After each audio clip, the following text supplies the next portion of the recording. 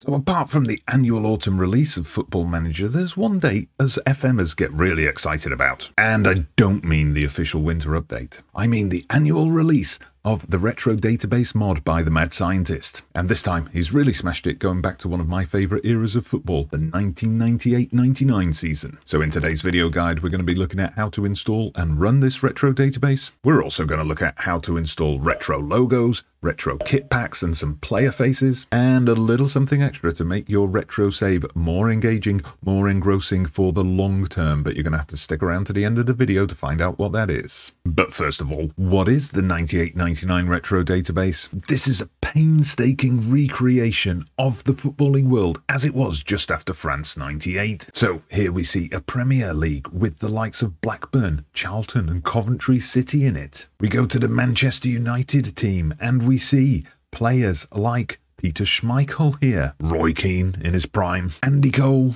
Dwight Yorke up top, and who could forget David May and Wes Brown. Yeah, there was life before Phil Jones. Now in England, this goes down to the old second division, so no championship, it's the English first division, and the second division as well. We've even got the Coca-Cola Cup. We've also got the top divisions playable here for France, Germany, Portugal, Scotland, Spain. Italy gets Serie A and Serie B. So we look at somewhere like Inter. We see we've got the classic logo here. Got a 21 year old Ronaldo to play with and a teenage Pirlo. Guardiola, he's still Josep Guardiola here. And this has all been recreated by going back to the old Championship Manager 3 and looking at the player stats there. So how do you install this glorious piece of footballing nostalgia? If you're watching this video shortly after its release in early February, you can get early access by heading to Mad Scientist's Patreon the link is in the description and become a supporter at any tier. If you're watching this in late February 2023 or after, you can find the download links on the official Mad Scientist website. Again, links in the description. However, even if the database is free when you're watching this, I still suggest you go and support the Mad Scientist on Patreon.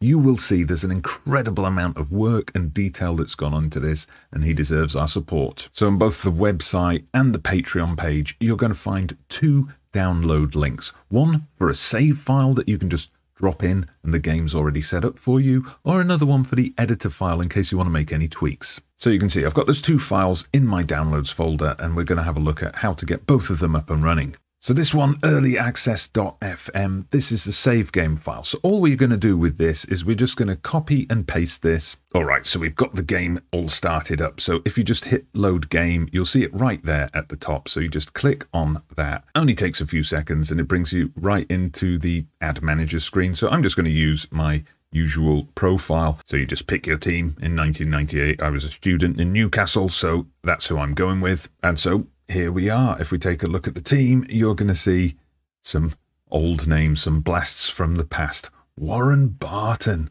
Wow, what a player to start with. Rob Lee, the late great Gary Speed, Temuri Ketsbaia, Alan Shearer, Duncan Ferguson. Fantastic. But what if you want to tweak the game a little bit? You only want to load some of the leagues or you want to play around with the number of players, get it working on your PC? Well, that's where we're going to use the editor file. So again, we are going to copy paste this, but this time we're going to Documents, Sports Interactive, Football Manager 2023, and we want to put this into the editor data folder. You'll see I've got lots of things in there because I've been working on my international competitions. But all right, that's in there. And now we go back to our game and we're going to click Start New Game this time, Career, obviously. And then here where it says Database, we want to make sure that we have just got this file uh, chosen. So scrolling down, you can see here, I've got another file here selected from, I'm doing a rebuild of the Copa America, more on that in a future video, but we want to deselect that. I wouldn't recommend using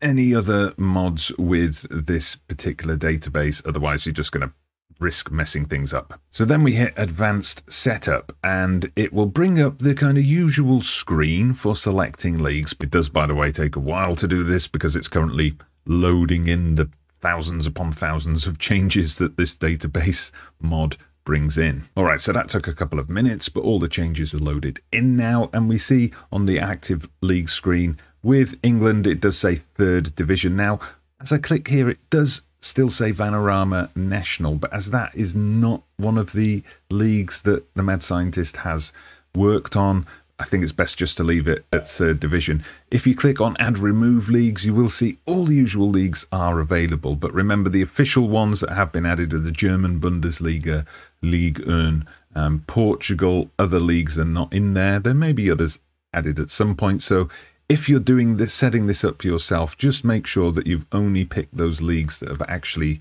been added to this database. All right, so I think we've got that set up correctly. Then, of course, you can play around here with database size suiting your playing requirements. And of course, you can set all the advanced options at the bottom and then just start your game. And again, you might find this will take a little bit longer than it does when you set up a standard game. All right, so once again, we add our manager and pick our team. So this time, let's head over to Italy. We'll go for Serie A, and I'm going to choose Inter. And you can see why.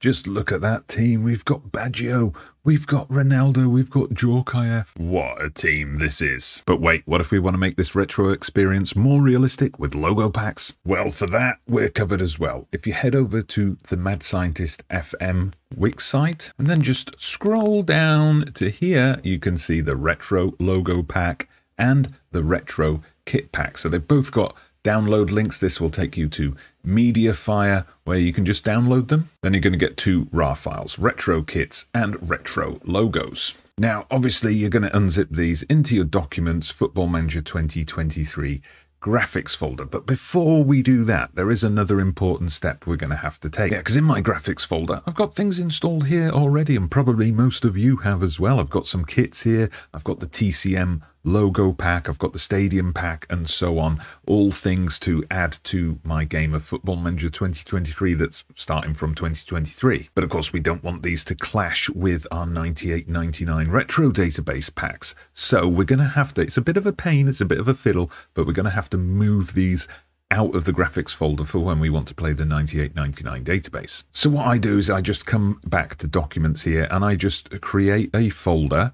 So I'm just going to do that now new folder, and I'm just going to call it FM Graphics Backup. But anyway, we've got that in there, and I'm going to create a couple of folders in here as well. All right, so one for the 9899 files when I'm not using them, one for the FM23 files when I'm not using them. Yeah, so for now, I'm just going to move the kits and that logo mega pack out of there you might want to remove the stadiums. I don't know if there is a retro 9899 stadium graphics pack, but if there is one, let me know in the comments. Then we just come to our FM graphics backup folder, FM23 backup, and I'm just going to paste them into there. The back in the graphics folder now. We see that those have gone. So we go back to download. So we're just going to unzip these files here. So retrokits.rar. So we've ignored the prompt to buy WinRAR. We select that and extract to, and then we just go to Documents, of course, Sports Interactive, Football Manager 2023, and Graphics. Just hit OK and let it do its work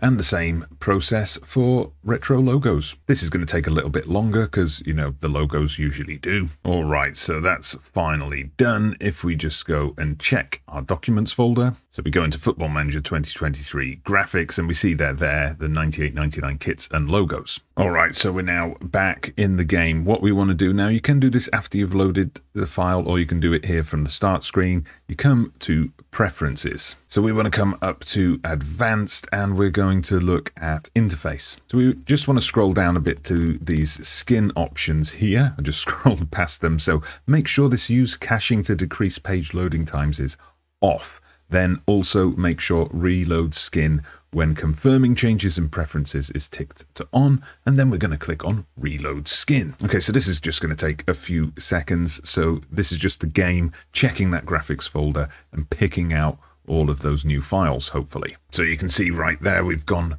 back to the classic Inter Milan logo. Yeah, and going to the Inter Club screen page, we see up here we've got the classic Pirelli sponsor on the kits. And look here, Serie A as well. It's the old Serie A logo with the ball and the writing wrapping around it. And Arsenal with the iconic Dreamcast and Sega partnership. But anyway, that's logos, that's kits, and what? Player faces, you say? Right, well, player faces are available, but this is where the community kicks in. It's not through the Mad Scientist FM website, or Patreon page. Instead, we have to go over to a different Patreon page, a creator called Jomo, who deals in all sorts of custom face packs. Now, you can, of course, choose to support him with a membership if you wish, but he has also made a limited number of player faces available um, as a free version, as you can see here. So it says it's just over 2,000 pictures for free from all of the top clubs, all of the top players. If you want to go into even more depth with over 5,000 faces, that's where you need to be a paid up Patreon. But we can just download this file, uh, which I've already done. You can see it here. You can you can do this while your game's running in the background as I have. So we've got here uh, 98.99 database Jomo free. So same thing as with the others. We're going to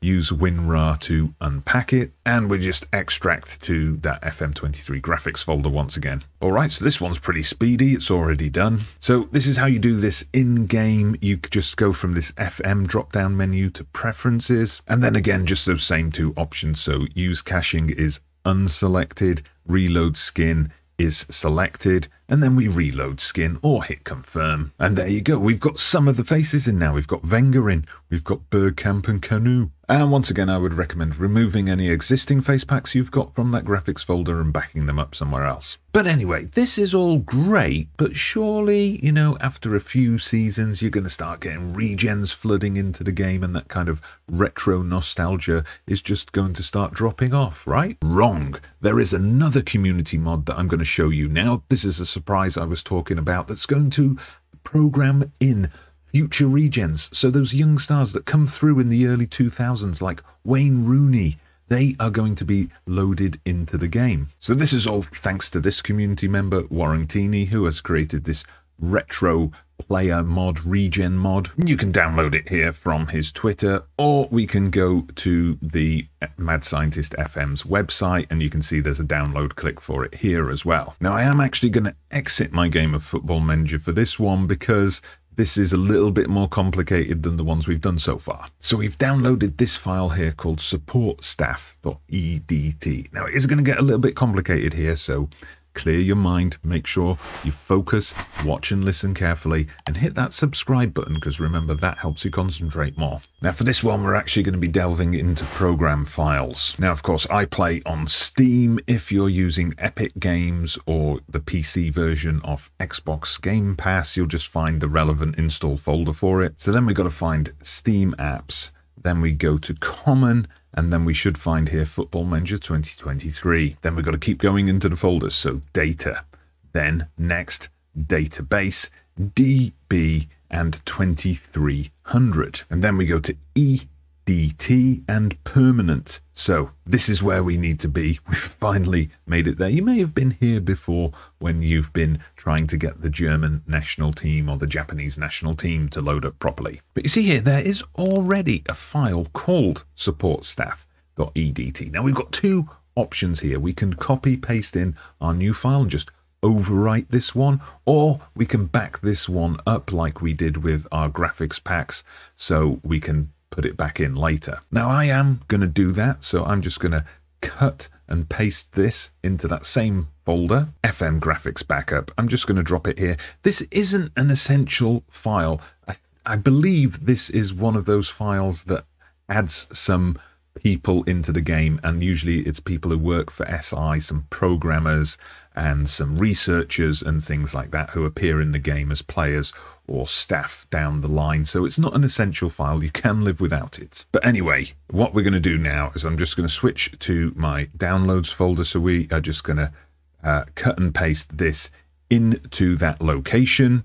So there you go. It's going to paste in now. You see, it's a much larger file than the one we removed. One thing I would say at this point, though, and you've just got to remember this, you'll have to make a mental note somewhere. Make a mental note somewhere. Wouldn't that be in your brain? You don't want to leave this here for when you next play a regular game of Football Manager 2023. So if you're not playing with the 9899 database and you leave this in, you're going to end up with Wayne Rooney appearing down the line and possibly meeting his older self, Wayne Rooney, as a manager, and then you know the world's just going to be destroyed. All right, so I'm recording this bit the next day, hence the different outfit, just to test that that regen mod has worked. So if we look at the Premier League here, I've gone like 12 seasons into the future, left it holidaying overnight. If you look at the top scorers, you'll see here we've got a certain Luis Suarez who's come up. So Uruguayan player, he's age 23 here, so we can see that it works. We can see that he starts out in Nacional in Uruguay, but then he gets picked up by Arsenal in this particular save.